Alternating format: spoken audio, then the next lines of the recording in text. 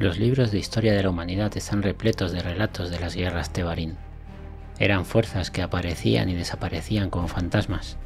Esta es la historia que hay detrás de dos de sus naves más icónicas.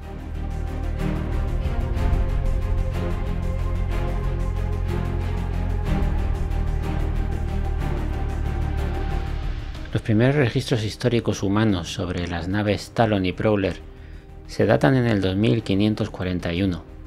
El caza Talon era la punta de lanza de las fuerzas Tebarin, con un sistema de escudos muy avanzado que volando en formación junto con otras Talon les hacía armas letales sumando la fuerza de unos escudos con otros, haciendo una barrera casi impenetrable.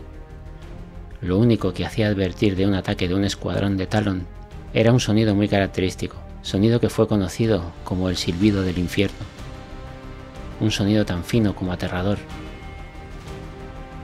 Una vez que un grupo de Talons caía en picado dentro de una atmósfera, si alguien escuchaba eso, sabía que tenía poco tiempo para reaccionar.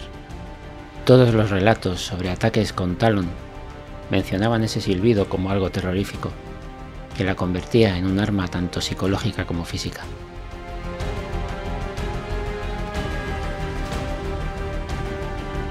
Por otro lado, la Prowler era una nave de desembarco de tropas furtiva, con una tecnología de escudos atmosféricos que hacía el desembarco de tropas muy ágil. Eran silenciosas y letales. Un puñado de Tebarins bien entrenados desplegados en una de estas Prowlers podía hacer caer cualquier objetivo sin sufrir ninguna baja. Como varios almirantes y comandantes de la Armada reconocían, desde que aparecieron las Prowler no había lugar seguro en el espacio. Ejecutaban unas tácticas y coordinación extremadamente efectivas ejemplificando los ataques coordinados, siendo quirúrgicamente precisos.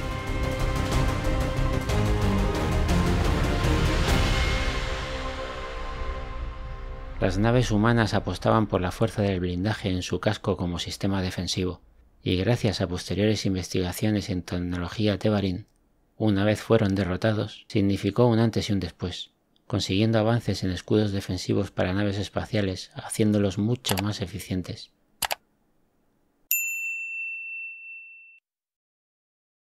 En el 2603, años después del final de la Primera Guerra Tebarin, un nuevo señor de la guerra Tebarin llamado Koraktal reunió una fuerza Tebarin mejorada mucho más avanzada. Sumó a su flota una nueva variante de la Talon, la Talon Strike. La Talon Strike cambiaba las armas originales de la Talon por bahías de 24 misiles, y hacía en combinación con las Talon originales ataques mucho más devastadores. Conseguían atravesar los renovados y en parte mejorados escudos de las naves humanas, asestando golpe tras golpe a la UE, poniéndolos en jaque. A pesar de todo, la humanidad acabó venciendo de nuevo gracias a su capacidad de adaptación.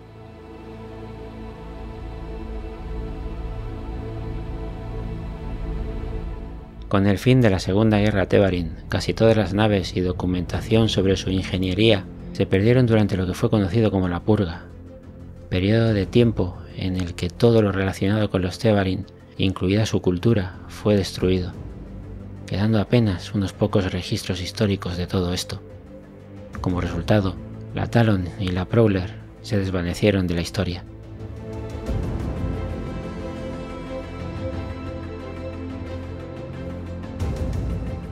Pero recientemente, en el 2941, se descubrió un nuevo sistema estelar, el sistema Cabal, y dentro de él una pequeña joya, un mundo habitable para los humanos, de origen natural muy raro, casi gemelo de la Tierra, Cabal 3.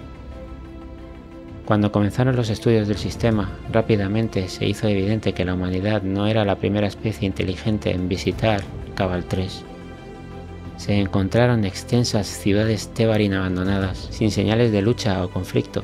Todo permanecía como una vieja fotografía en el tiempo. Además de los edificios, también se encontraron otras naves, como la Talon y la Prowler.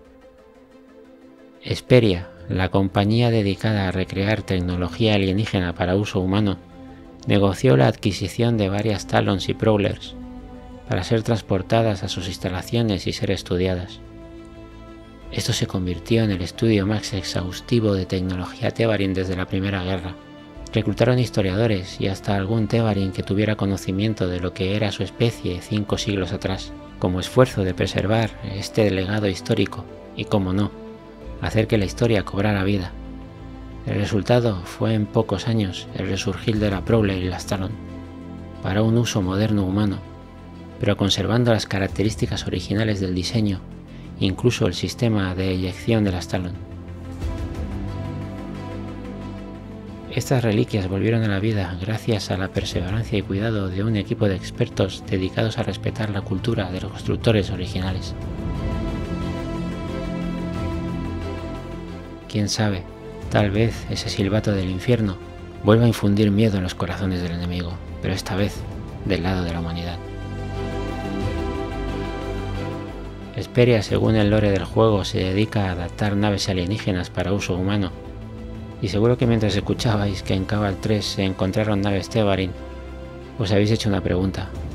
¿Habrá más naves Tevarin en un futuro, aparte de la Prowler y la Talon en el juego? Yo apuesto que sí. Espero que os haya gustado. Como siempre, larga vida, prosperidad y hasta pronto.